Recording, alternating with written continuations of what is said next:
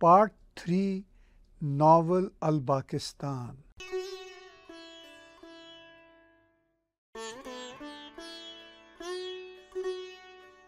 सन 2006 सर हर कौम अपने मफाद के लिए काम कर रही है। अमरीकी अपने मफाद की खातर हमें अमदाद देते हैं, मगर हम अमरीकियों की खातर अपने तालिबान और मुजाहिदीन का कला कमा नहीं कर सकते।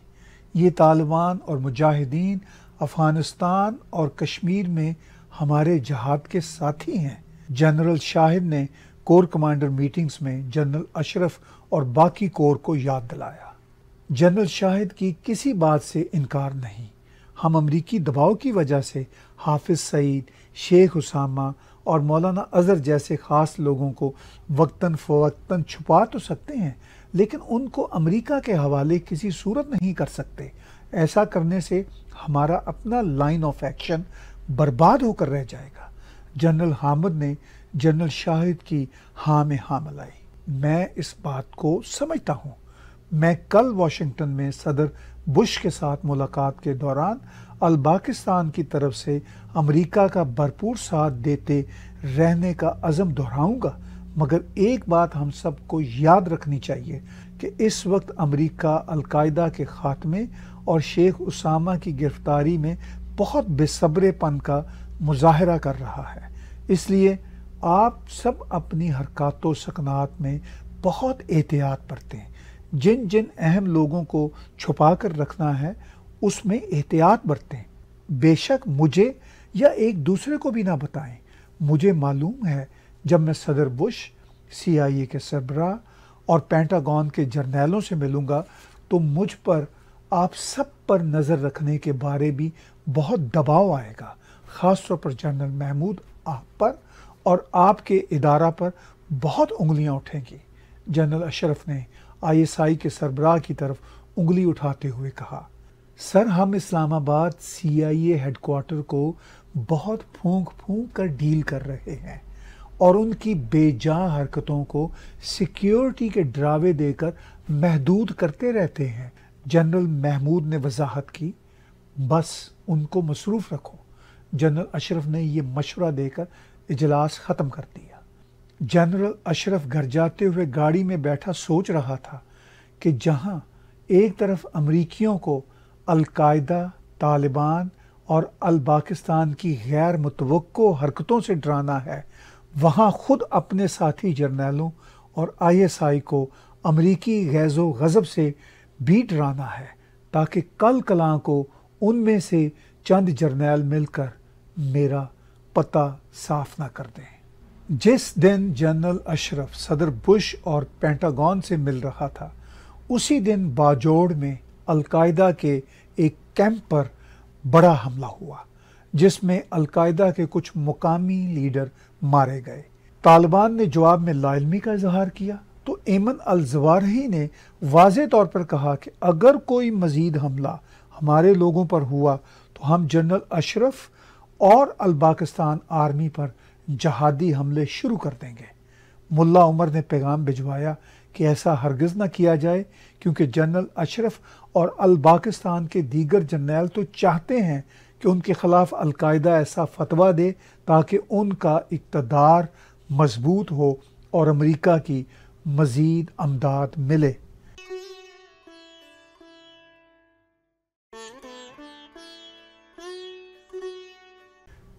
जनरल अशरफ के हालिया दौरा पेंटागन के बाद तीन अमरीकी जर्नैल अलबाकिस्तान और अफ़गानिस्तान से आने वाली खबरों की रोशनी में जनरल अशरफ की बातों की बॉडी लैंग्वेज का तजिया कर रहे थे।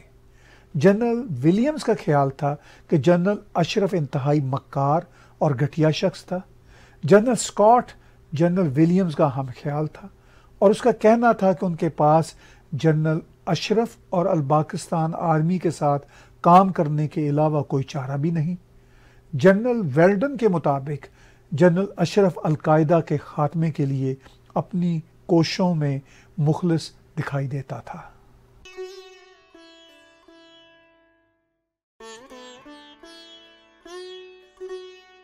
मैडम काहिरा को आज अपनी दो जिगरी सहेलियाँ, बाबरा और बबली, याद आ रही थी। एक अरब शहजादे के साथ ब्याही जा चुकी थी और दूसरी अमेरिका हिजरत कर गई थी। दोनों के साथ चाय पीने और गप्पे लगाने का मज़ा ही कुछ और था। उसने चाय की चुस्कियाँ लेते हुए उन्हें याद किया। आज मैडम अपने लॉन में अकेली बैठी चाय पी रही थी। इतने में उसका पप्पी काव काव करता, चिड़ियों को पेड़ों से उड़ाता, अंदर से आन वारद हुआ। मैडम ने पप्पी के बेहंगम शोर को नज़रअंदाज करते हुए बाबरा और बबली की शख्सियत का आज की लड़कियों से मुआजना करना चाहा तो उसे उदासी भरी तन्हाई का एहसास हुआ। उसे याद आया कि बाबरा को भी गाड़ी और अच्छी कोठी पसंद थी, मगर उसे शायरी, महजब लड़के, अच्छी गुफ्तगु, वाइन और अच्छा म्यूज़िक रुपए पैसे की बातों से हटकर अच्छे लगते थे। वो हमेशा ऐसे गाहकों के साथ वक्त गुजारती थी जो गाहक कम और कदरदान ज़्यादा होते थे। मैडम को याद नहीं आता था कि आज तक किसी छछोरे शख्स ने उसे छुआ भी हो। वो नौ दौलती सियासतदानों कब्ज़ा ग्रोहों और पुलिस अफसरों से दूर रहा करती थी। आखिरकार वो एक कतरी शहजादे के अकद में चली गई थी। अब कई सालों से या तो वो कतर में रहती थी या फिर कभी कभार इंग्लैंड चली जाती। उसके पास एक बंगला कराची में भी था। बबली का अलबत्ता कोई ख़ास अच्छा हाल नहीं था। वो धंधे से ज़्यादा समाजी घुटन से तांग आकर अमेरिका चली गई थी। वहाँ शादी नाकाम हुई, मगर ज़्याबतीज़ और दिल की तकलीफ़ ने उसे निढाल कर रखा था। फिर भी वो कैलिफ़ोर्निया के समुंदर से खुश थी। मैडम को याद आ रहा था कि जब कभी वो मिल बैठती थीं तो कैसी खुशगवार बातें करती थीं, जो आज की हमजोलियों के साथ मुमकिन ना थी। आज की लड़कियाँ हर वक्त जेवर, कोठियों प्लाटों और प्लाजों की बातें करती रहती थी। सब मैडम को कहती थी कि वो पैसे वालों से उनका तारफ़ करवाएँ। पैसा भी अब ऐसे ऐसे गंवारों के पास था कि उनसे बात करते हुए मैडम को घिन आती थी। मैडम के जहन के साथ साथ उसका पप्पी भी शोर मचा रहा था। इतने में फ़ोन की घंटी बजी तो देखा एक मशहूर टीवी एंकर का फ़ोन था। बीवी को मेरी मॉडल सुंबल के साथ होने वाली शादी का इल्म हो चुका है, वो घबराया हुआ था। चंद जी, ये कौन सी ऐसी बड़ी बात है? तुमने शादी ही की है ना?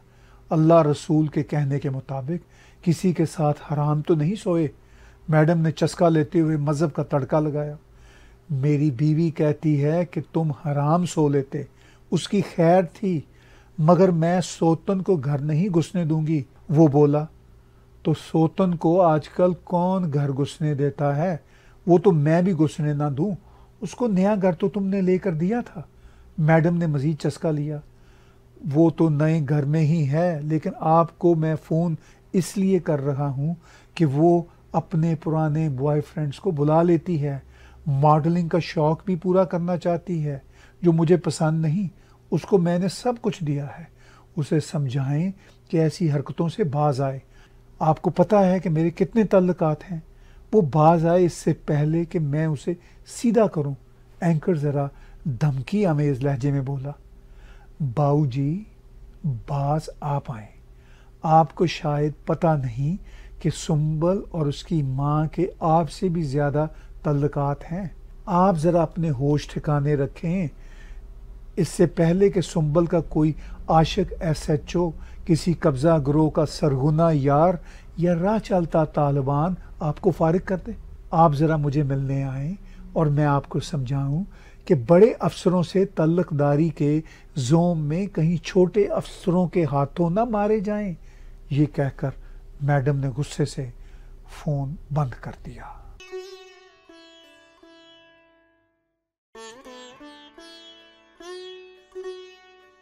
ब्रिगेडियर आसफ को एक बड़े मीडिया हाउस में दावत दी गई थी, जहाँ तीन दर्जन से जायद स्क्रिप्ट राइटर्स, शायर, अदीब और कॉलम नवीस उससे मिलवाए जा रहे थे।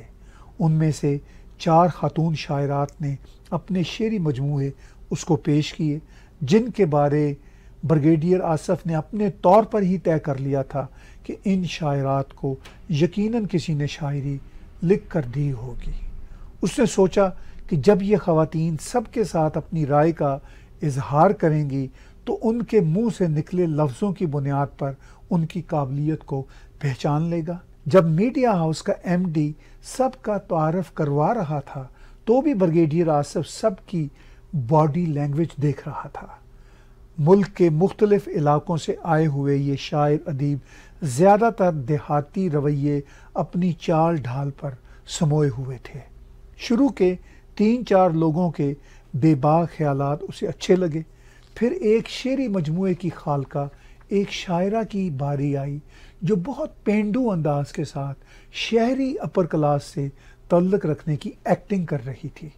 उसने अपना तारफ़ करवाते हुए मुँह खोला तो ब्रिगेडियर को यकीन हो गया कि उसकी शायरी की किताब किसी ठरकी शायर ने लिखी थी, जो हो सकता है कि इसी महफिल में मौजूद हो।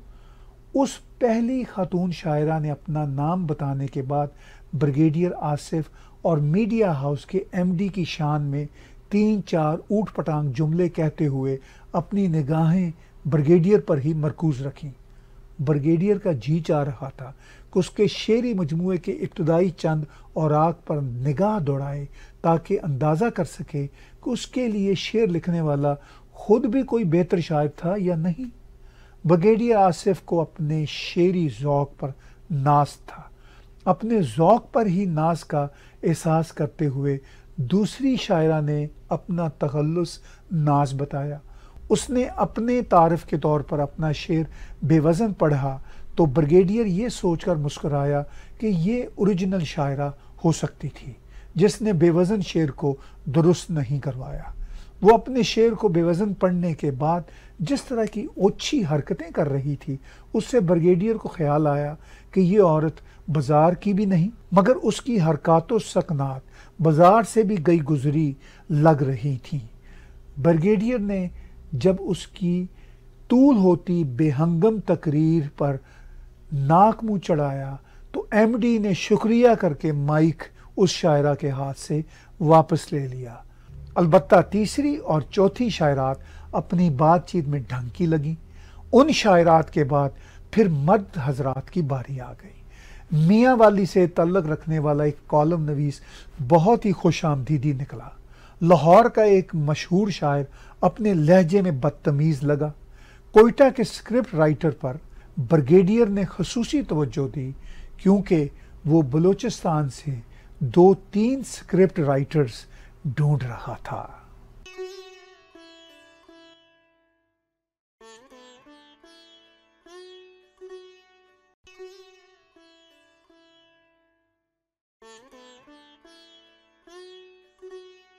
सन 2007 तुमको तो इंडिया की इंटेलिजेंस रॉ पैसे देती है। रॉ की मदद से तुम लोगों ने शहर को बर्बाद कर दिया है। तुम लोग इस मुल्क को तोड़ना चाहते हो।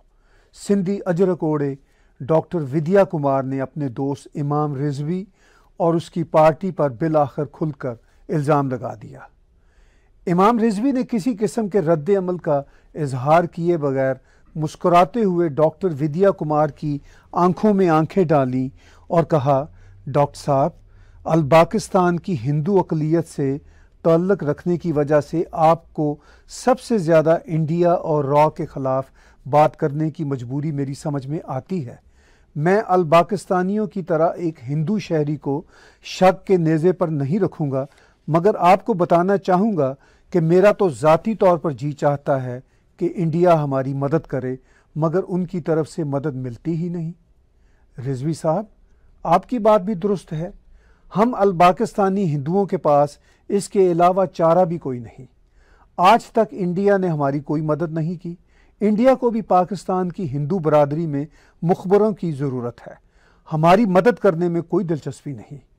दूसरा, इंडिया और अलबाकिस्तान के बीच कशीदगी का हमेशा से ये आलम है कि हम हिंदुओं को कभी भी उम्मीद नहीं होती कि हम यहाँ पर इज़्ज़त की ज़िंदगी गुजार सकेंगे।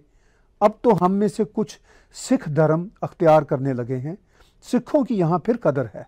अलबाकिस्तान सिखों के साथ बेहतर तल्लकात कायम करके खालिस्तान की तहरीक को यहाँ से शह देता रहता है।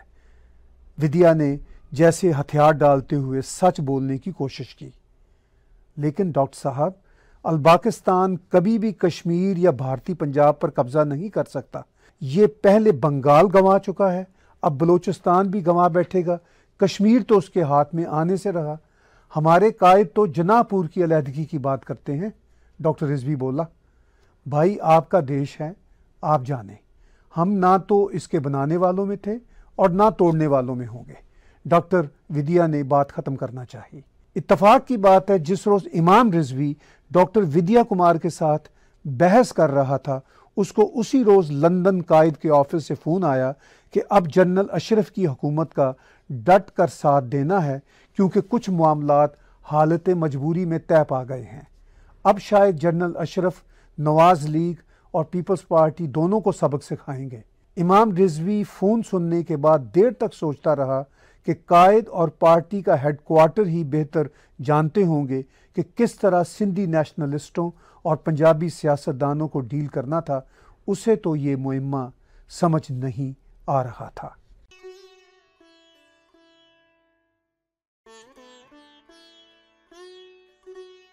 सन 2008 ब्रिगेडियर आसिफ रावलपिंडी की लाल कोठी से लाल मस्जिद तक की कार्रवाइयों पर नज़र रखे हुए था।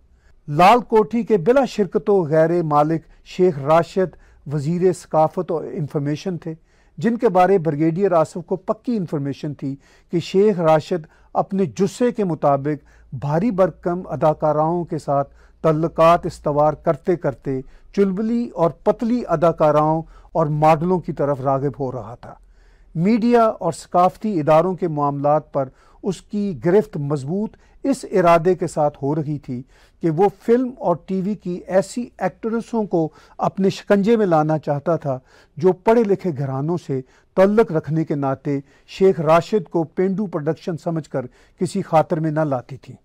अब शेख राशिद उनको एवार्डों और ओहदों के झांसे देकर रातों को अपनी लाल कोठी बुलाता था। शेख राशिद के लाल मस्जिद वालों से भी अच्छे तल्लक थे। लाल मस्जिद वालों पर ब्रिगेडियर आसफ ने कर्नल आरिफ को मामूर कर रखा था। कर्नल की इतलात के मुताबिक लाल मस्जिद वाले फौज के अफगान जहाद और आज़ादी कश्मीर की तहरीक के सफ़र में खुद से ही आगे निकलते रहते थे।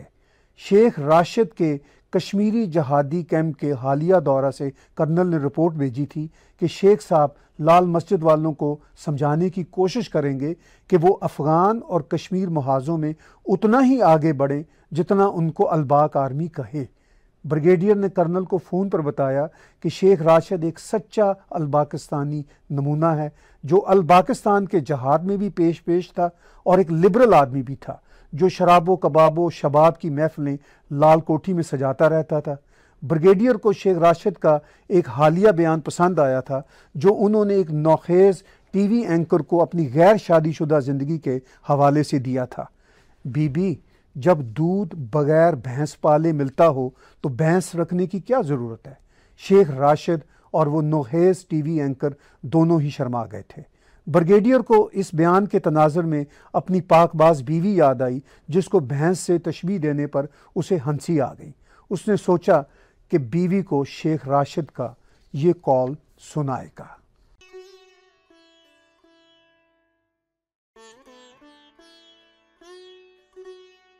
सन 2008 से सन 2011 2008 में पीपल्स पार्टी के इकतदार में आ जाने के बाद फौजी बिल्ली और सियासी चूहों का ना ख़त्म होने वाला खेल शुरू हो चुका था। वजारत उज़मा का अहदा अलबाकिस्तान का सबसे अहम आइनी अहदा कहा जाता था, मगर इसकी अहमियत का दारो मदार भी शख्सियत पर होता था। 1990 की दहाइयों में नवाज़ शरीफ और बेनज़ीर के अदवार में सदर की कोई हैसियत ना होती थी। मगर ये अलग बात थी कि उस ज़माने के सदूर ने आर्मी की हदायत पर वज्रा आज़मों की हुकूमतें बरतरफ कर दी थी। 1999 से 2008 तक सदर अशरफ ही सब कुछ थे। वज़ीर आज़म तो उनके ठप्पे लगने से आते और जाते थे। 2008 के इंतबात जीतने के बाद पीपल्स पार्टी कुलिशन हुकूमत बनाने में कामयाब हुई, मगर सदर जरदारी कुलीदी हैसियत अख्तियार कर गए। वज़ीर अजम गिलानी तो अंगूठा छा वज़ीर अजम बन के रह गए थे, जिनके बेटे को उनकी वजारत उज़मा के दौरान ही तालिबान ने अगवा कर लिया था। कुछ मुबसरीन के नज़दीक आई एस आई उस अगवा के पीछे थी, ताकि वज़ीर अजम उनके कठपुतली बने रहे, मगर गिलानी साहब सदर जरदारी के वफादार रहे। उन्होंने अपनी वजारत उज़मा के आखिरी दिन तक सदर जरदारी के असासों के राज छुपाने की कोशिश की। सदर जरदारी ने नए आर्मी चीफ जनरल ज्ञानी के भाइयों के असले का कारोबार भी किया, कुछ आइनी असलाहत भी की, लैंड माफिया के साथ अच्छे कारोबारी रवाबत रखे, फौज के कुछ जर्नैलों, ब्रिगेडियरों और करनैलों को खुश भी रखा और आईएसआई की रवायती सियासी साजिशों को भी सहा। कप्तान खान और ताहिर फादरी के धरने भी सहे। वॉर ऑन टेरर के रहे सहे नतज भी भुगते। आईएसआई की साजिशों को अमेरिका में अपने सफ़ीर हुसैन रब्बानी की मदद से कैरी लोगर बिल अमेरिकी कांग्रेस से पास करवाने के बाद कुचलने की भी कोशिश की। सदर जरदारी को जहाँ अपने दौरे हुकूमत में जमहूरियत को बहाल रखने की दाद मिली। वहाँ उन पर करप्शन के रिकॉर्ड इल्ज़ाम के नतीजा में गैर मामूली शोहरत भी मिली। इसी असना मई 2011 में अमरीकी ऑपरेशन के दौरान उसामा बिन लादन की हलाकत हुई। सन 2011 ब्रिगेडियर आसिफ को इस बात का बहुत कलक था कि वो मेजर जनरल के अहदे पर पहुँचे बगैर ही रिटायर हो गया था। रिटायरमेंट के बाद ब्रिगेडियर अपने आबाई मकान एबटाबाद में मुंतकिल हो गया। इस दौरान अमरीकियों ने ब्रिगेडियर आसिफ को अपने साथ काम करने की पेशकश की थी। लेकिन इस बात की हकीकत कोई नहीं जानता था कि उन्होंने इस पेशकश को कबूल किया भी था या नहीं। ब्रिगेडियर आसिफ शेख साहब की तलाश के मिशन को बहुत खुफिया रखना चाहता था। ब्रिगेडियर की सरगर्मियों पर उसका सबका इदारा भी कड़ी नज़रें रखे हुए था। ब्रिगेडियर आसिफ को काकूल अकेडमी के पास एक हवेली के अंदर जाने का बहुत ख्याल आता था। उसे उस हवेली में शेख लादन की मौजूदगी का तो कभी ख्याल ना आया था, मगर उस हवेली की पुरसरारियत मुसलसल खटकती थी। दो मई के रोज़ जब पूरी दुनिया को उस हवेली के अंदर शेख लादन की हिलाकत की इतला मिली तो ब्रिगेडियर अब कड़ी से कड़ी मिलाने में कामयाब हो रहा था कि उसे ये हवेली क्यों पुरसरार लगती थी। अगरचे वो उस हवेली को आईएसआई और तालिबान की मुलाकातों की अमाजगाह समझता था। उसने एक दफ़ा दो मरूफ तालिबान लीडरों को हवेली के अंदर जाते देखा था। ये हवेली काकूल मिलिट्री एकेडमी से बमुश्किल एक किलोमीटर के फासले पर थी। ब्रिगेडियर आसिफ गैर मामूली ऊँची दीवारों वाली हवेली को देखते हुए हर बार सोचता और कुड़ता था कि आखिर उसे पता क्यों नहीं चलता कि उसके अंदर कौन रहता था। आईएसआई और मिलिट्री इंटेलिजेंस वाले उसे यही बताते थे कि ये हवेली किसी कबायली सरदार की थी। ब्रिगेडियर का अपना घर अकेडमी के पास था। उसे अपने आसपास के बेशतर बंगलों के मालकान का पता था। आसपास के कई बंगले अमीर खानों और सियासतदानों के थे। उस इलाके में फ़ौजी अफसरों के तो बमुश्किल सात आठ बंगले थे। ज़्यादातर ये बंगले सिविलियंस के थे। अपनी बड़ी बड़ी तोंदों के साथ घूमते ये ताजर नमा सिविलियंस उसे सख्त नापसंद थे। वो अपनी फ़ौजी ज़िंदगी को याद करता जो कितनी मुश्किल, सख्त ट्रेनिंग से आरास्ता, नज़मो ज़ब्त से भरी हुई, सुबह शाम की वर्जिशों से लदी और सीधी लकीर की फ़कीर थी। उसे अपना अंकल याद आया जो मैट्रिक फेल था, काम, चोर और नकम्मा मगर हेरा फेरी करके सेठ बन गया था। उसका एक बेटा सियासत में आया और उसने जी भरकर करप्शन की। दूसरे बेटे ने भाई और बाप की मदद से लैंड माफिया बना लिया। अब उनके मुल्क भर में मोटेल्स थे। सबकी तोंदें निकली हुई थी। आसिफ उनको याद करते हुए ब्लडी सिविलियंस के बारे सोचने लगा कि उनको फौजियों की मेहनत, मुशक्क़त का अंदाज़ा ही नहीं हो सकता। ये ब्लडी सिविलियंस हम मेहनती और पुरखलूस फ़ौजियों पर हुक्मरानी करना चाहते हैं। इनकी क्या मजाल कि ये काकूल अकेडमी के तरबियत याफ्ता फ़ौजी अफसरों पर हुक्मरानी कर सकें। उन करप्ट और बड़ी तोंदों वालों को फ़ौजियों पर हुक्मरानी करने का कोई हक नहीं। ये खान, ये पंजाबी सौदागर, मेमन सनतकार, सिंधी वडेरे, बलोच सरदार और महाजर छोकरे हम फौजियों पर हुक्मरानी का हक नहीं रखते। हम फौजियों की दयानतदारी का इससे ज़्यादा क्या सबूत होगा कि मुझ जैसे सीनियर आईएसआई अफसर को भी शेख लादन की इस इलाके में मौजूदगी का इल्म नहीं था? शायद चीफ साहब को भी इल्म ना हो। फ़कत दो एक अफसरों को ही इल्म होगा। अब ये ब्लैक मेलर और नलायक सहाफ़ी काकूल अकेडमी और फौज पर उंगली उठाने के लिए एबटाबाद जौक दर जौक आन पहुँचे थे। रिटायर्ड ब्रिगेडियर आसिफ को शेख लादन की हलाकत की इतला पर बहुत अफसोस हुआ था। शेख लादन पाकिस्तान के लिए सोने की चिड़िया थे। उसने फ़ोन पर रिटायर्ड कर्नल आरफ से अपना दुख साझा किया। देखो यार, मुझे उनसे मिलने की कितनी तमन्ना थी, मगर ना मिल सका। मुझे क्या पता था कि वो और मैं एक दिन एक ही मोहल्ले में आ बसेंगे। काश नए डीजी मुझ पर एतमाद करते तो मैं शेख लादन की खुद खिदमत करता। आसिफ ने आरिफ से कहा, आसिफ साहब, मैं तो ये खबर सुनने के बाद समझा था कि शायद आपने घर एबटाबाद शेख लादन साहब की कुर्बत के लिए बनाया था। आरिफ ने जवाब दिया, अरे यार, ये तो इत्तफाक था। काश मुझे उनकी खिदमत के काबिल समझा जाता। सर, शुक्र करें आप शेख लादन के करीब नहीं पहुँचे, वरना अमरीकियों ने आपको भी नहीं छोड़ना था। कर्नल ने कहा, इन अमरीकियों की ऐसी की तैसी, रात के अंधेरे में हमला करने आते हैं। दिन को तो आकर दिखाएँ। आसफ ने जवाब दिया, सर जी, अब क्या करना है? आरफ ने पूछा, पाकिस्तान आर्मी पर सवाल करने वाले हर गैर मुल्की रिपोर्टर को ख़ास तौर पर बताना है और बार बार बताना है कि पाकिस्तान की दहशत गर्दी की जंग के ख़िलाफ़ खुद कितनी कुर्बानियाँ हैं। इन कंफ्यूज मगरबी रिपोर्टरों को बार बार बताएँ कि हम दहशत गर्दी की ये जंग मगरब की खातर लड़ रहे थे, जिसमें हमारा बेतहाशा नुकसान हुआ है। मगरबी सहाफ़ी ये बात काफ़ी हद तक मान लेते हैं। शेख लादन की एबटाबाद हवेली में रहाइश के बारे तो हमें हर बार यही कहना चाहिए कि हमें तो मालूम ही नहीं था इस जिम्न में कुछ हराम खोर पाकिस्तानी सहाफ़ियों और उन मुकामी लोगों को ठिकाने लगा देना चाहिए, जो मुँह खोल खोल कर कह रहे हैं कि ये तो मुमकिन नहीं कि आईएसआई को शेख लादन की एबटाबाद में मौजूदगी का इल्म ना हो और जो इस बात की मनादी करते भी नहीं थकते कि इस शहर में तो चिड़िया भी फ़ौज की मर्ज़ी के बगैर पर नहीं मार सकती, ऐसे सहाफ़ियों और मुकामियों की गांड में डंडा देना चाहिए। आसफ गुस्से से बोला सुना है किसी डॉक्टर शकील आफरीदी ने शेख का सुराग सीआईओ को दिया था। कर्नल आरफ ने जानना चाहा, उसको तो नहीं छोड़ेंगे। ब्रिगेडियर ने जवाब दिया। कर्नल आरफ के साथ उस टेलीफोनिक गुफ्तगु के बाद ब्रिगेडियर आसफ ने अपने जूनियर हसन मंजूर को फ़ोन किया, जो तरक्की पाकर एक कर्नल की हैसियत से आईएसआई में काम कर रहा था। हसन, मेरे लाइक कोई काम बताओ, मैं इधर एबटाबाद में ही रह रहा हूँ। सर, अभी तो कुछ ना करें। मैं आपसे रबते में रहूँगा। हसन ने मुख्तसरन जवाब देने के बाद फ़ोन बंद कर दिया। आसफ ने शेख लादन की रहाइश गाह की तरफ़ पैदल चलने का फ़ैसला किया। अपनी गली से दाएँ तरफ़ की सड़क मुड़ते ही उसे मालूम हुआ कि रास्ता बंद था।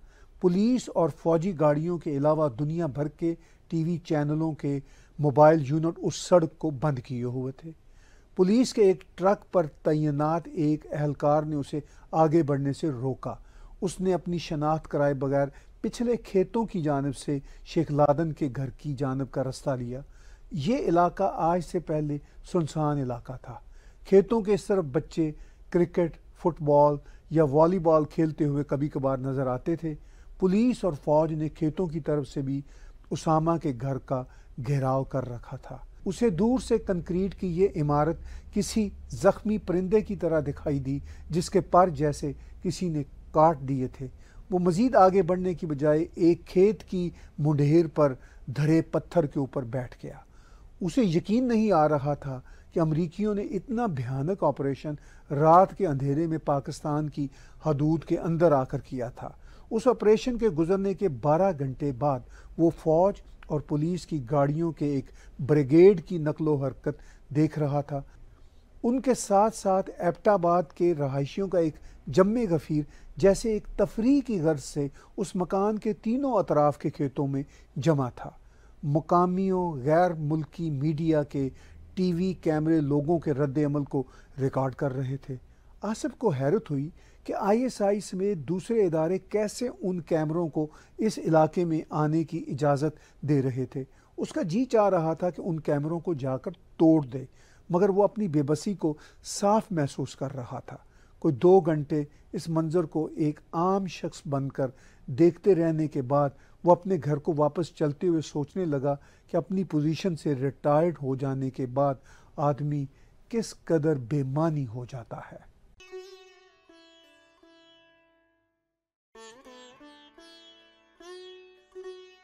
पख्तून आवाज़ अखबार के एबटाबाद दफ्तर में मुकामी सहाफ़ी आज गैर मुल्की सहाफ़ियों के साथ बातें करते और उन्हें चाय पेश करते थक से गए थे। एडिटर मोहम्मद जान ने अल जज़ीरा न्यूज़ के रिपोर्टर को बताया कि मुमकिन तो नहीं कि आईएसआई के कुछ ख़ास अफसरों के इल्म के बगैर उसामा बिन लादन उस घर में रह रहा था। जब रिपोर्टर ने उसामा बिन लादन की बीवियों के बारे जानना चाहा तो मोहम्मद जान को शर्मिंदगी सी हो रही थी कि किस तरह वजाहत करे कि शेख का काम जहाद और सेक्स के अलावा कुछ नहीं था। अल जजीरा के नाइजेरियन क्रिश्चियन सहाफ़ी टॉमिक मानके ने शेख के जहाद और सेक्स के हवाले से चुपता सवाल किया तो एसोसिएट प्रेस के सहाफ़ी थॉमस डायर ने मोहम्मद जान की मुश्किल को भामते हुए सूरत हाल को ये कहकर संभाला कि सेक्स इंसानों का मसला है। हमारे वेस्टर्न कल्चर में सेक्स का अमल बगैर मुनाफ्त के होता है, मगर ईस्टर्न और इस्लामिक कल्चर में मुनाफ्त का अमल दखल रहता है। इससे पहले कि टॉमिक मान के थॉमस डायर को जवाबन हाथों हार लेता, एडिटर मोहम्मद जान ने अपने दिल की बात करके माहौल के तनाव को साफ़ कर दिया। एडिटर कहने लगा, भाइयों, हमसे तो एक औरत संभाली नहीं जाती। ये तो शेख की हिम्मत थी, जो हर चंद सालों बाद किसी नई औरत को अपने हरम में ले आता था। एन इस्लामी रवायात के मुताबिक, टाम मानके ने तंजन लुकमा दिया, भाइयों, ये मसला किसी मज़हब के साथ जुड़ा हुआ नहीं। ये मसला तो मर्दों के, हंसियों के साथ, बंदी ख्वाहिशात के साथ जुड़ा हुआ है। थॉमस डायर के इस जुमले ने एडिटर के कमरे को शगुफ्तगी से भर दिया। इतलात के मुताबिक शेख की तीन बीवियाँ उस हवेली में थीं। उनको अल पाकिस्तान आर्मी ने अपने कब्जे में ले लिया था। ये भी एक खबर थी।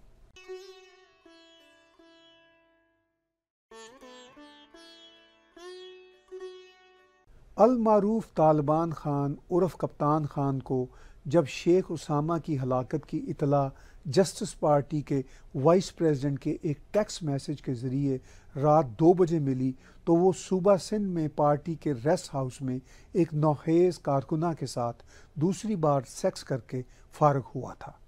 इस्लामी जमहूरिया अल पाकिस्तान में ब्यूरोक्रेसी, आर्मी मीडिया खटपैंचों टेक्नोक्रेसी और सियासतदानों के लिए जिनसी अयाशी की फ्राहमी भरपूर अंदाज में रहती थी। तालिबान खान ने नौखेज़ कारकुना को ऊँगता छोड़कर अपनी शलवार कुर्ता को ढूंढा। जब से वो सियासत में आया था, वो मगरबी लबास से ज़्यादा अब यही अलबाकिस्तानी लबास पहनता था, जिसमें वो अपने एज़ाए रईसा को खुला खुला महसूस करता था। उसने कमरे से बाहर निकलकर पार्टी के दो अहम लोगों को फ़ोन किए। उन्होंने उसी वक्त तालिबान खान के पास आने के इरादे का इजहार किया। खान भी इस हैरतनाक खबर के सुनने के बाद लोगों से मिलने का बेताब था। उसने उनको आने की इजाज़त दी। फिर उसने आईएसआई के एक अहम अफसर और एक लेफ्टिनेंट जनरल को टेक्स्ट मैसेजेस इस इरादे से किए कि इस वाक़ की तफसीलात को मज़ीद जान सके। इसी खबर की परेशानी में अपने माथे पर हाथ फेरते हुए उसे ख्याल आया कि वो साद मुनीर और उमर सईद के आने से पहले नहा ले, क्योंकि उसने गुज्त दो घंटों के दौरान नौहेज़ कारकुना के साथ दो बार सेक्स किया था। और ये भी सोचा कि नौखेज़ कारकुना को जगा कर ड्राइवर को उसके घर छोड़ आने का कहे। वैसे तो उसकी पार्टी के साथ ही खान की सेक्स पार्टियों को देखने और उनका एहतमाम करने के आदि थे। चंद रोज़ बाद खान का एक इंटरव्यू एक बरतानवी अखबार में शाया हुआ, जिसमें उसने उल्टा अमेरिका को उसामा बिन लादन का कातिल करार देते हुए इस वाक़ को अलबाकिस्तानियों के जज्बात को ज़रब लगाने के मुतरदफ करार दिया था। उस इंटरव्यू के शाया होने पर चंद आर्मी जर्नैलों ने उसका शुक्रिया अदा किया कि उसने डट कर अमरीका की मजम्मत की थी।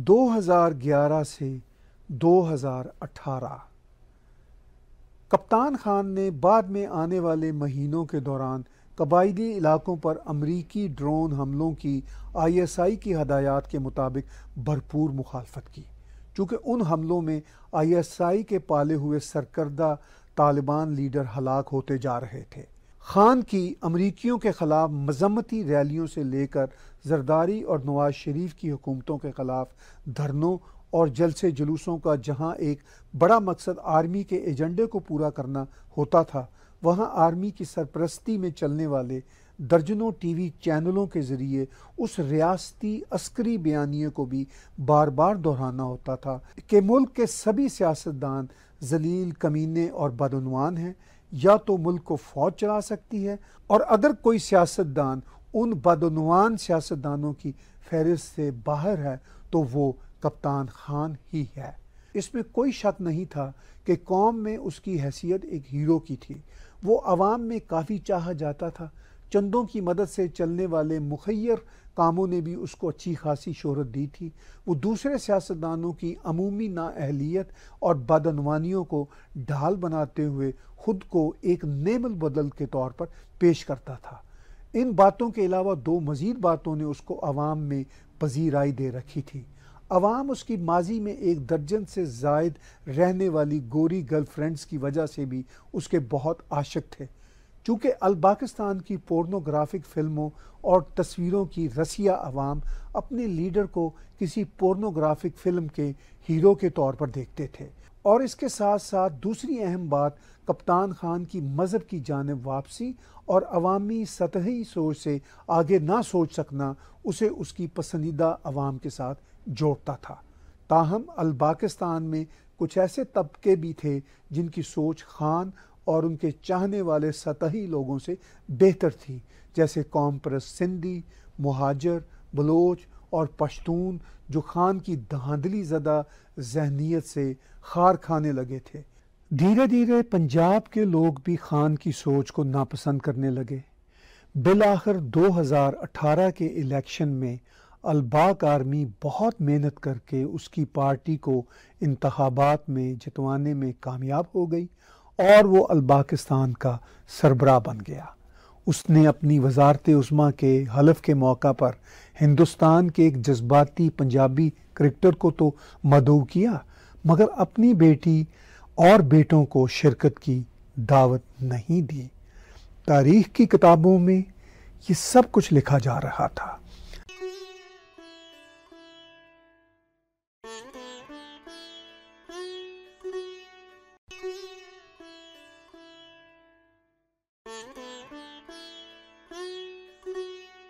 सन 2018 अजय शर्मा को इस्लामाबाद में भारतीय सफारत खाने में आए छः माह से जायद अरसा हो चुका था। वैसे तो उसकी तैनाती सेकंड सेक्रेटरी के तौर पर थी, मगर उसका ताल्लक रॉ से था। छः माह के दौरान उसको बखूबी अंदाज़ा हो चुका था कि उसकी हरकतों सकनात काफ़ी महदूद थी। वो रॉ के काम से हटकर सिर्फ़ सैर के लिए बाहर जाना चाहता था मगर उसके एक एक पल की निगरानी की जाती थी। अलबाकिस्तान हुकूमत की तरफ़ से भारतीय सफारत खाने के तमाम अमले को हदायत थी कि दुश्मन मुल्क के नुमाइंदे होने के नाते वो अवाम मजहबी ग्रोहों और दहशत गर्दों की जद में हैं। लिहाजा उनके हक में बेहतर यही है कि वो अपनी नकलो हरकत की पेशगी इतला दें ताकि उनको मुनासिब सिक्योरिटी दी जा सके। और ठीक से निगरानी में भी रखा जा सके। अजय शर्मा को मालूम था कि कुछ ऐसी ही सूरत हाल अलबाकिस्तानी सफारती अमले की दिल्ली में थी। मगर अजय शर्मा को अपने सफारती और इंटेलिजेंस काम से हटकर कई काम थे। वो पिंडी के चप्पे चप्पे में फिरना चाहता था। उसने अपने पिता को वचन दिया था कि वो भाबड़ा बाज़ार, राजा बाज़ार गंज मंडी पुराना किला और कोहाटी बाज़ार का अहवाल उसको सुनाएगा। नीज रामदास मंदिर और लक्ष्मी नारायण मंदिर के साथ साथ गुरुद्वारों का अहवाल भी उसे लिखेगा। उसकी माता तो पिंडी की बातें सुनाते न थकती थी। एक दिन वो इसी थकावट में भगवान को प्यारी हो गई। उसके पिता उठते बैठते लाल कोठी का ज़िक्र करते थे, जो पिता के दोस्त के अंकल लाला सैगल की थी, जिनकी दाश्ता बुधा माई का चर्चा भी घर में होता रहता था। उस लाल कोठी के अंदर मंदिर लाला सैगल के लिए था और मस्जिद बुधा माई के लिए थी। अजय शर्मा उस लाल कोठी को देखना चाहता था, जिसके बारे उसे भारत में भी इल्म था कि उस पर आईएसआई के चहेते शेख राशिद का कब्जा था।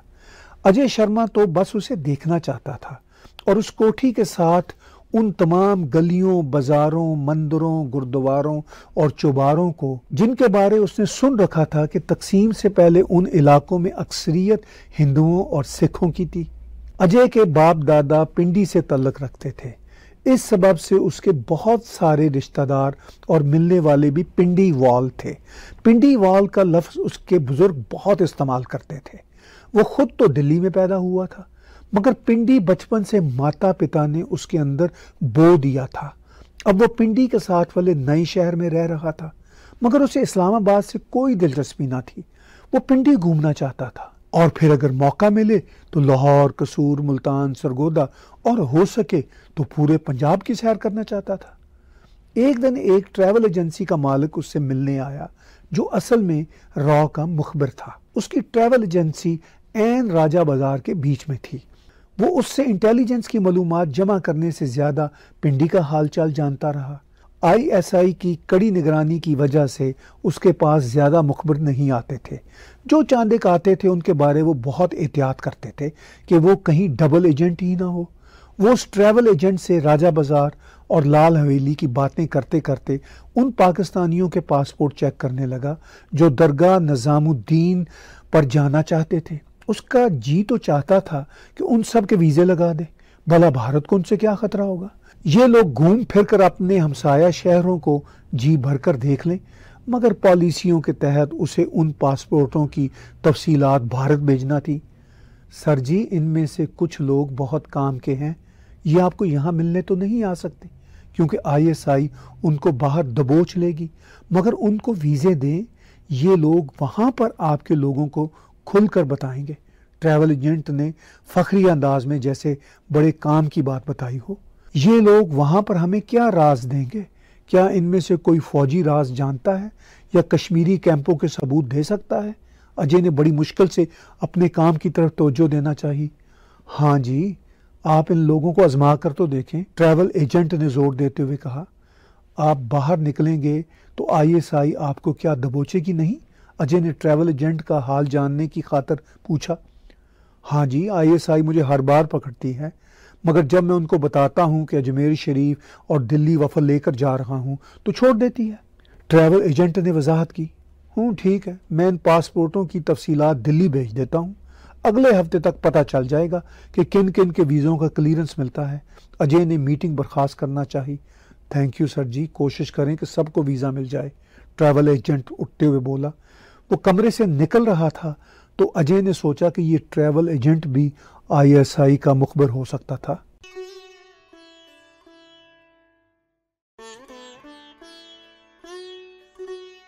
अजय शर्मा ने सफीर, लक्ष्मण, रामचंद्रन के साथ लंच करते हुए जानना चाहा कि वो किस तरह एक टूरिस्ट की तरह पिंडी की गलियाँ कूचे घूम सकता था। सफीर, जिसका ताल्लुक चेन्नई से था वो एक पंजाबी डिप्लोमेट की पिंडी घूमने की तड़प को समझ ना सका। सफ़ीर साहब ने अजय से अंग्रेज़ी में पूछा कि ये बताओ कि हमारे पंजाबी हिंदुओं और सिखों को उधर के पंजाब की इतनी तड़प क्यों है? सर, आप पंजाबी तो दूर की बात है, हिंदी भी नहीं बोल सकते। आपको कैसे बताऊँ कि ये इस तरफ़ का पंजाब हमारा कटा हुआ पंजाब है? हमारे बापों और माओ की धड़कनें इधर ही रुकी हुई हैं, अजय बोला। मगर यार अब हमें ये मान लेना चाहिए कि ये एक अलग मुल्क बन चुका है, जो कभी भी हमारा हिस्सा नहीं बनेगा। सफ़ीर ने चाय का घूंट पीते हुए यूँ कहा, जैसे वो अजय की बेबसी पर लुत्फानंदोज हो रहा हो। सर, आप कभी पिंडी गए हैं? अजय ने असल मौजू की तरफ़ वापस आना चाहा। कई बार इस्लामाबाद, पिंडी मेन सड़कों से गुजरा हूँ। राजा बाज़ार के आसपास इलाकों में दो एक बार जाना हुआ। मगर भारतीय सफ़ीर होने के नाते इसी बात में बेहतरी है कि गलियों बाजारों में ना फिरूं। चाहे अल पाकिस्तानी सिक्योरिटी मेरे साथ ही क्यों ना हो, सफ़ीर ने मजीद वजाहत की। तुम्हारी पिंडी की सैर के लिए अलबाकिस्तान के फॉरेन ऑफ़िस से बंदोबस्त करने की दरख्वास्त भेजता हूँ। सफ़ीर ने अजय को बोलने से पहले ही काम की बात की। सर, ऐसा मुमकिन है? अजय ने हैरत से पूछा। मैं फॉरेन ऑफ़िस लिख कर देखता हूँ कि क्या जवाब आता है, सफ़ीर ने उठते हुए कहा। एक हफ़्ते के अंदर अंदर ही फॉरेन ऑफ़िस से जवाब आया कि उनका एक अफसर अजय से मिलने सफारत खाने आएगा और अजय का प्लान जानना चाहेगा। इस जवाब के करीब एक हफ़्ता बाद आदल खान नामी एक अफसर अजय से मिलने आया। साहब, आप पिंडी के बाज़ारों की क्यों सैर करना चाहते हैं? आदल खान का पहला सवाल था। मेरी माँ और बापू दोनों पिंडी से थे। माँ तो पिंडी की बातें करते करते मर गई। बापू की आँखें तो आज भी पिंडी को याद करके तर हो जाती हैं। मैंने सारी ज़िंदगी अपने घर में पिंडी की इतनी बातें सुनी हैं कि मैं बचपन से इन गलियों मोहल्लों में बस रहा हूँ। मगर उनको अपनी आँखों से देखना चाहता हूँ, अपने कदमों के राही दिल में महसूस करना चाहता हूँ। आदिल साहब, आपको क्या बताएँ कि पिंडी हमारे लिए क्या शय है? अजय थोड़ा जज्बाती हो गया। साहब आपको दिखा देंगे, नो प्रॉब्लम। बल्कि अपने पिता को कभी बुलाइए, उनको भी दिखा देंगे। इससे पहले कि वो इस दुनिया से गुजर जाएँ, पिंडी तो अब यही रहेगा। आदल के लहजे की तुरशी को अजय ने साफ़ महसूस किया। मिस्टर शर्मा, आप कब जाना चाहेंगे? आदल ने पूछा। क्या अगले इतवार को जाना मुमकिन है? अजय ने आदल के लहजे को नज़रअंदाज करते हुए जवाब दिया। आपके दफ्तर को कल तक कंफर्मेशन मिल जाएगी। आदल, ये कहकर उठ खड़ा हुआ।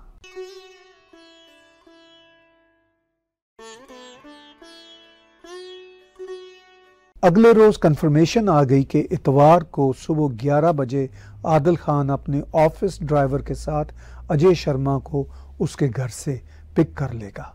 इतवार को अजय शर्मा 10 बजे तैयार था। वो सोच रहा था कि अगर ये टूर अच्छा रहा तो वो बापू को भी अलबाकिस्तान बुलाएगा और जब उसके बीवी बच्चे आएँगे तो उनकी सैर के लिए भी दरख्वास्त देगा।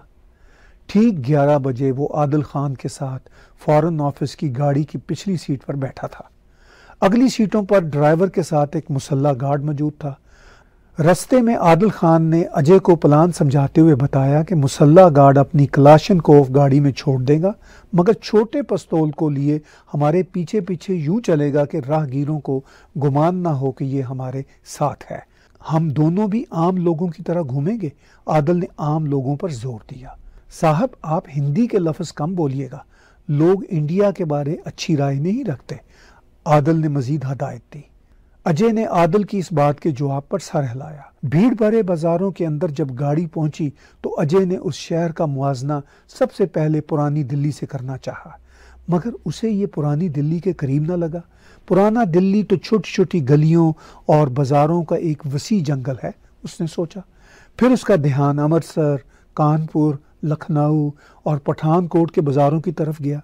मगर उसे उनके साथ पिंडी की मुमासलत महसूस न हुई। अचानक जयपुर के एक दो बाज़ारों के गुलाबी रंग को छोड़कर उसे उनका मुहांदरा पिंडी के इन बाज़ारों जैसा लगा। एक जगह गाड़ी रुकी तो आदिल खान ने अजय को बाहर निकलने की दावत दी। अजय गाड़ी से बाहर निकलते ही आदिल के पीछे चलने लगा। उसके पीछे आदिल का सिपाही यूँ चल रहा था जैसे वो उन दोनों को जानता ही ना हो। अजय की जब से सफारत खाने में तैनाती हुई थी, उसका पहला मौका था कि वो अलबाकिस्तान के किसी भीड़ भरे बाज़ार में निकला था। उसने लोगों के चेहरों चाल ढाल आपस में बोलचाल के अंदाज, थड़ों पर सजी दुकानों, गाहकों और दुकानदारों की फुर्तियों, मकानों और इमारतों के आर्किटेक्ट को एक साथ जांचना शुरू किया। उसे पहली नज़र में यहाँ के लोगों का जुस्सा दिल्ली के आम आदमी की नस्बत बहुत मुख्तलिफ़ लगा। उसे फिर बापू याद आए। उनका डेल डोल भी पंजाबी पठानों जैसा था। बापू कहा करते थे कि उनके पिंडी के लोग पंजाबियत और पठानियत का मिक्स होते हैं। उसे बापू की बात मनो अनदुरुस्त लगी। एक बार फिर उसे यहाँ के लोगों का जुस्सा राजस्थानियों और पंजाबियों के करीब लगा। मकानों और इमारतों के बाहर से नज़र आने वाले छज्जे देखकर उसे इलाहाबाद की गलियों की इमारतें याद आईं, जो रवायती हिंदू आर्किटेक्ट के हवाले के तौर पर उसके जहन में महफूज थीं। अपने शहर दिल्ली के बारे उसका यही तासर था कि ये शहर ना तो हिंदुओं का रहा और ना ही मुसलमानों का। उसके गली कूचे बाज़ार इस कदर सुकड़ चुके थे कि वो तो अब किसी भी तहजीब की तर्जमानी नहीं करते थे, बल्कि दर्जनों नए तहजीबी मलगूबों के ताने बाने बुन रहे थे। पुराना दिल्ली बेढंगी गलियों, तारीख बाज़ारों और लटकती तारों वाले ऐसे मोहल्लों पर मुश्तमिल शहर में ढल चुका था जहाँ पराठे वाली गली, कनारी बाज़ार के गोटे और कढ़ाई वाला काम, गुरु गुरतेज गुरुद्वारा, शाही मस्जिद और करीम के कबाबों वाली गली, दरियागंज के कुतुब खाने और लाल किला के चारों तरफ़ लोगों का जमे गफीर तो बढ़ता चला जा रहा था, मगर तहजीब की तरतीब और चाशनी दिन ब दिन कम से कम होती जा रही थी। फिर उसे नया दिल्ली याद आया। जो अलबत्ता दिल्ली की तहजीब का तर्जमान कहलाया जा सकता था। ये नया दिल्ली कोनाट प्लेस के गिरदा गिर्द के आलीशान रवायती होटलों, इंडिया गेट, पार्लियामेंट और सरकारी इमारतों का एक जंगल था। नई दिल्ली के बाद का दिल्ली, ग्रेटर कैलाश साकेट और फैलते दिल्ली के जनूब शमाल, मशरक मगरब के इलाकों का आर्किटेक्ट तो कमर्शियल इमारतों, नए मॉलों, तीन चार मंजिला फ्लैटों पर मुश्तमिल घरों का बना हुआ था। उनके आर्किटेक्ट से, हिंदू, मुस्लिम या सिख कल्चर से वाबस्ता कोई याद उसे ना आई। वो तो बस ईंटों के डब्बे हैं, जिनमें लोग रहते हैं, बिकते हैं और मरते हैं। लगता था कि पिंडी के बाजारों का नक्शा उसे इधर उधर की बेसरोपा बातों से जोड़ रहा था। फिर उसके जहन में लाल कोठी आई। अचानक लाल दाढ़ी वाला एक शख्स उसके सामने आया, जिसकी गर्दन पर कश्मीरी रुमाल धरा हुआ था। इतर में लिपटा वो शख्स उसके सामने यूँ गुजरा कि उसके इतर की तेज खुशबू से अजय को एक तेज छींक आई। वापस चलेंगे या अभी थोड़ा और आगे जाएँगे? आदल खान ने पूछा। कुछ मंदिर गुरुद्वारे दिखा दें और हो सके तो लाल कोठी भी। अजय ने इल्तजाइया लहजे में जैसे दरखास्ती की। ओ हाँ मैं भूल गया था। अजय ने यह कहते हुए अपनी जेब से एक पर्ची निकाली जिस पर दो तीन पते लिखे हुए थे। भीड़ भरे बाज़ार से होते हुए वो एक नस्बता कम भीड़ वाले खुले चौराहे में पहुँच गए। अजय के जहन में अमरपुरा अंगतपुरा अकालगढ़, कृष्णपुरा, मोहनपुरा और करतारपुरा जैसे महलों के नाम गूंज रहे थे, जो उसने अपने मम्मी डैडी से सुन रखे थे। कोहाटी बाज़ार के मंदिर के बारे उसे उसके सफारत खाने ने बताया था कि अब वो स्कूल की इमारत के तौर पर इस्तेमाल होता है। गुरुद्वारा बाग सरदारा पंजाब पुलिस के दफ्तर की सूरत अख्तियार कर चुका था। गुरुद्वारा नरनकारी इस्लामिया शिमला स्कूल में ढल चुका था। कई मंदिर गुरुद्वारों की जगहें, तजारती प्लाजों और रहायशी इमारतों में तब्दील हो चुकी थी। अजय को राह चलते कई प्लाजों और बिल्डिंगों के नीचे गुरुद्वारों और मंदिरों के ढांचे दिखाई दिए। वो मोहन मंदिर की जगह देखना चाहता था, जिसे अपने वक्त के मशहूर हिंदू हकीमों ने बसाया था। इन्हीं सोचों और लोगों की भीड़ से बचते बचाते वो कृष्णा मंदिर तक पहुँच गए। वो अपनी तहकीक करके आया था कि तकसीम से पहले इस शहर में 300 से जायद मंदिर हुआ करते थे। अब जीता जागता एक कृष्णा मंदिर ही रह गया था। मंदिर में घुसने से पहले आदिल खान ने उसे कहा कि वो पुरोहित को हरगिज ना बताए कि वो इंडियन एम्बेसी में काम करता है। सिर्फ़ इतना ही कहे कि वो एक हिंदुस्तानी यात्री है। एक सहमी शक्ल का पुरोहित दरवाजे पर मिला। वो अजय के साथ आदिल को और उससे पीछे सिक्योरिटी गार्ड को आते देखकर समझ गया कि ये लोग खुफिया पुलिस वाले हैं। अजय को पाकिस्तानी हिंदुओं की मुश्किलात का अंदाज़ा था। उसकी जानकारी के मुताबिक पाकिस्तानी हिंदू भारतीय सफारत खाने से वीज़ा लेने के अलावा किसी किस्म का नाता रखने से गुरेज करते थे। पाकिस्तान से हर साल हज़ारों हिंदू भारत जाते और उनकी अक्सरियत वहीं की हो रहती। उसे याद आया कि दिल्ली में उसे एक बार पाकिस्तानी हिंदू ने बताया था, साहब, आपको अंदाज़ा नहीं कि पाकिस्तान में हमारे साथ कितना बुरा सलूक होता है। हमारी इबादत गाहों पर लोगों के कब्ज़े हैं। इस्लामी इंतहा पसंदों ने हमारी ज़िंदगियाँ अजीरन कर रखी हैं। माशरे में हमें कमतर समझा जाता है। हमारी बच्चियों को ज़बरदस्ती मुसलमान बनाकर उनके साथ जिनसी ज़्यादतियाँ होती हैं। और जब हम इतनी मुसीबतें झेलने के बाद हिंदुस्तान पहुँचते हैं तो यहाँ पर दिल्ली से गुजरात तक, उत्तर प्रदेश से केरला तक मुसलमानों की इतनी बड़ी तादाद को हिंदुस्तान में बराबरी के हकूक़ के साथ रहता देखते हैं तो हमारा खून खोल उठता है। अजय ने उसका आखिरी जुमला सुनकर उसे डांटते हुए कहा, कभी मज़हब की बुनियाद पर किसी के खिलाफ दिल में बात ना लाओ। साहब, आप जो मर्ज़ी कहो, मगर मैं तो अपने दिल की बात कहे देता हूँ। इसलिए हमें बजरंगी अच्छे लगते हैं, जो हमारे दिल के जज्बात समझते हैं। आप जैसे बापू लोग इस फीलिंग को क्या समझे? जो आप में पाकिस्तानी हिंदू बोला, जो अब पाकिस्तान वापस जाने का इरादा नहीं रखता था। उस पाकिस्तानी हिंदू की बात ने अजय को अपने पिता की बात याद दिलाती थी। अजय पिंडी लाहौर जो हमारे शहर थे, जहाँ आधे से ज़्यादा हिंदुओं, सिखों को मार दिया गया, हमारी जायदादों पर कब्ज़ा कर लिया गया, हम में से कुछ बड़ी मुश्किल से जान बचाकर दिल्ली पहुँचे तो क्या देखते हैं कि दिल्ली में मुसलमानों के महलों के महल्ले आबाद थे। हमारा उनको यूँ आज़ाद रहते देख कर खून खोलता था, मगर हिंदू उनके मुकाबले में बहुत कम खूनी होते हैं। कृष्णा मंदिर के बाहर हिंदू पुरोहित के साथ अलैक्स लैक करता पिता की बात उसके अंदर गूंजने लगी। कृष्णा मंदिर के अंदर घुसे बगैर वो आदिल खान और उसके सिपाही के साथ आगे बढ़ा तो थोड़ा चलने के बाद आदिल खान ने एक इमारत की तरफ़ इशारा करते हुए अजय को बताया कि वो लाल कोठी है। लाल कोठी को बाहर से देखते हुए अजय के जहन में मम्मी डैडी से सुनी कई कहानियाँ उस कोठी के हवाले से घूमने लगी। वो उस इमारत के सामने मबहूत सा खड़ा रहा।